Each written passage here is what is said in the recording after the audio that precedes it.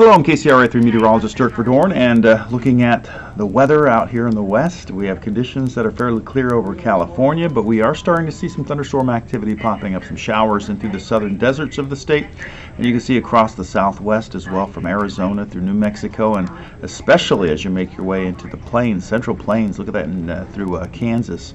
We're seeing some uh, big thunderstorm activity, Oklahoma, and then on into the Great Lakes. So, but for California, what we're going to be dealing with is that ridge of high pressure. It's in place, and we are going to see more shower activity popping up in the Sierra.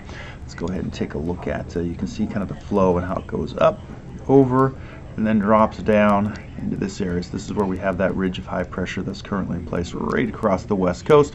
And then we have these areas of low pressure that are out here in through the, uh, well, it looks like uh, through the Gulf of Alaska and then we have one that's right over, again, the central plains right now. So we're in between. Expect to have temperatures modified a bit by the onshore breeze, the marine layers along the coast of California, and that delta breeze is helping to keep our temperatures down in the valley. We will see those winds picking up this afternoon, so late afternoon and on into the evening. We're talking between you know, about 6, 7, 8 o'clock, we'll notice those winds on the increase. We could see wind speeds up over 10 to 15 miles per hour, a bit stronger in Solano County as we get that delta breeze blowing in, cooling things off overnight. We'll see that again repeat for your Saturday, so that will help to keep temperatures.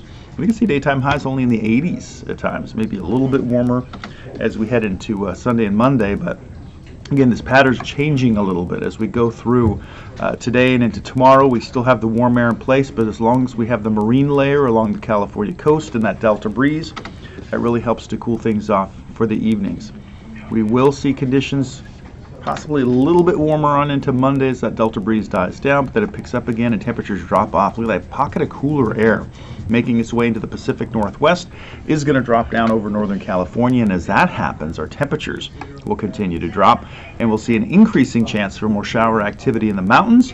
And if that center of uh, cool air comes over, we are looking at even a chance for a little bit more snow in the upper elevations. So that's what the pattern is looking like right now, and we do have a cooling pattern that's coming our way.